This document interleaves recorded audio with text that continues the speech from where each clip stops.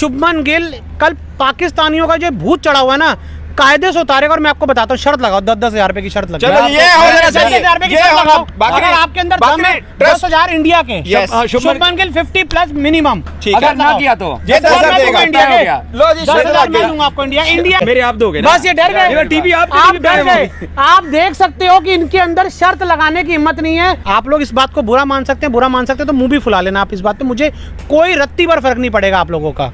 हरीश राव को क्या हुआ? बॉल आई? छक्का। सामने छक्का। ये भी पाकिस्तान से ये भी पाकिस्तान से।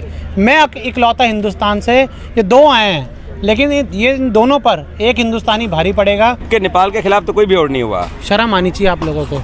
नेपाल के खिलाफ आपके टॉप के चार बल्लेबाज झक मरा रहे थे। भाई लड़ पड़ा। मुझे पता नहीं कहाँ कहाँ के ताने दिए। ऐसे ताने तो सास नहीं बहू को देती जो मुझे दे दिए।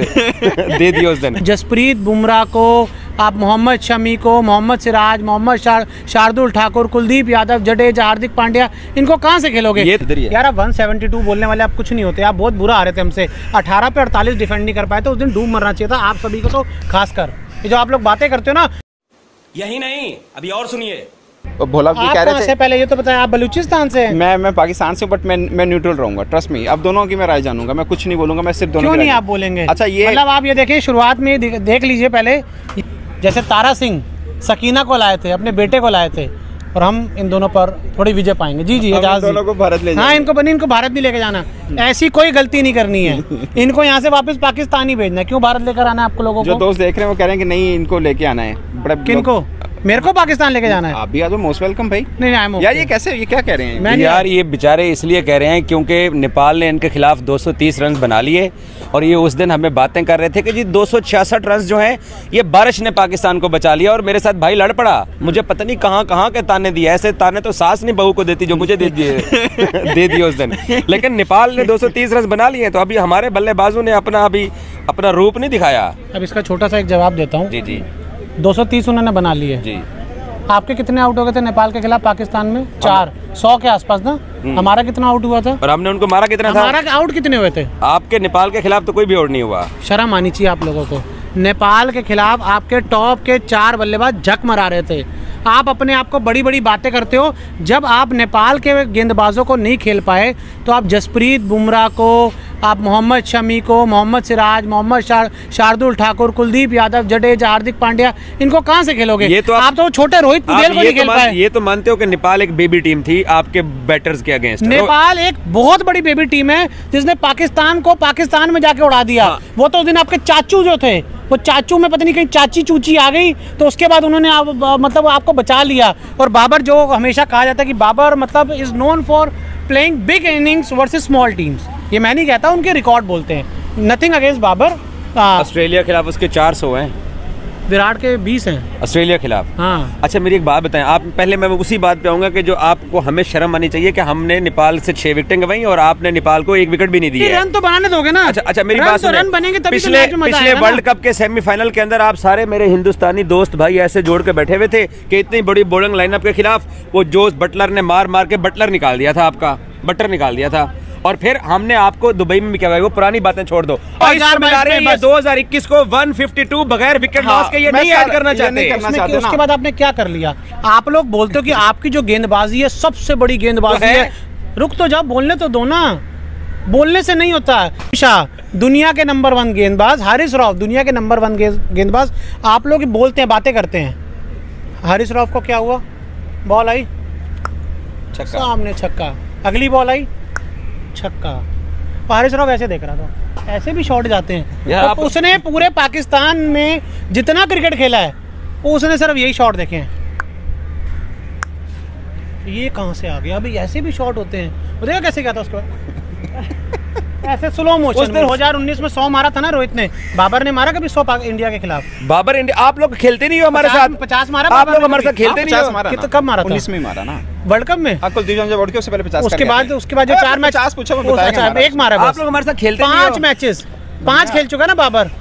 पाँच में पचास। टी ट्वेंटी में भी तो मारा। कितने जब एक सौ पचास का मारे थे जब एक सौ बावन पे ज़ीरो हाँ उस दिन भी मार दिया था एक सौ बावन में हम भूल जाते हैं। एक सौ बावन वाला हम भूल जाते हैं। एक सौ बावन वाली जो 172 भी याद इतिहास है एक सौ बावन का जो इतिहास है वो इरेज कर देते हैं। यार आप 172 बोलने वाले आप कुछ नहीं होते। आप बहुत बुरा आ रहे थे हमसे। 18 पे 48 डिफेंड नहीं कर पाए तो उस दिन डूब मरना चाहिए था। आप सभी को तो खासकर ये जो आप लोग बातें करते हो ना कि हमारे पास दुनिया का सबसे तेज आप लोग करते हो। हम तो जीत के दिखाते हैं। पिछला मैच जीते थे ना।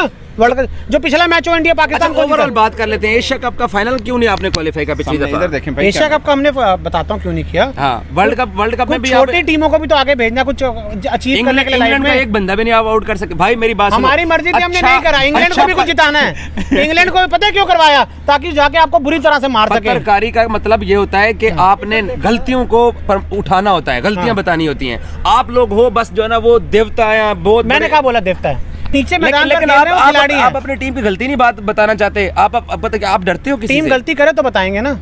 ये टीम गलती ही है। अफ़गानिस्तान के खिलाफ जीत के थोड़ा हम अच्छा, नंबर वन अच्छा, बने अच्छा, आपके। ऐसा- आपकी टीम ने कल भी नेट्स किए आज भी नेट्स किए तो नेट्स में बहुत अच्छा खेले हैं। हाँ। हमारे लाहौर में एक स्कूल टीचर थे वो जब नेट के अंदर हम छक्का मारते था वो कहते हैं यार कोई मैच वास्ते भी शॉट बचा लो वो। तो इन्होंने सारी यही खेल रही है या कल अंदर भी खेलने के लिए बचाया हुआ है? पाकिस्तान के जो पत्रकार है उनकी गुर्बत का मैं क्या बताऊँ?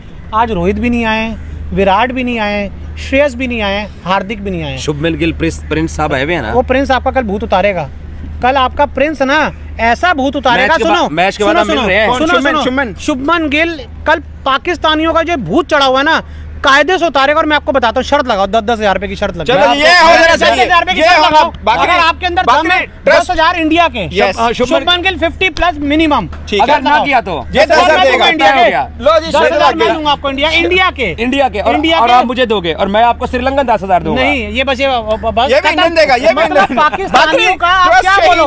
मेरे पास ये नहीं है। ठीक है, ठीक है। है। श्रीलंकन दूँगा दस हज़ार। श्रीलंकन वीज़ा लगा लो। नहीं, श्रीलंकन वीज़ा लगा लो। हम इंडिया नहीं। इंडिया के दस हज़ार पे यहाँ के श्रीलंका के हुए सैंतीस अड़तीस हज़ार पे।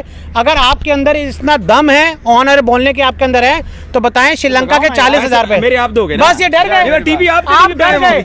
आप देख सकते हो कि इनके अंदर शर्त लगाने की हिम्मत नहीं है। मैंने बोला शुभमन गिल 50 प्लस मारेगा।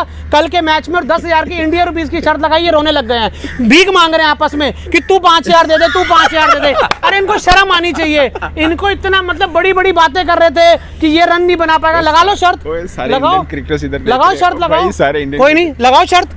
नमस्कार दोस्तों जय हिंद। मैं हूँ अमन और आप लोग देख रहे हैं हिंदुस्तान न्यूज़ स्पेशल।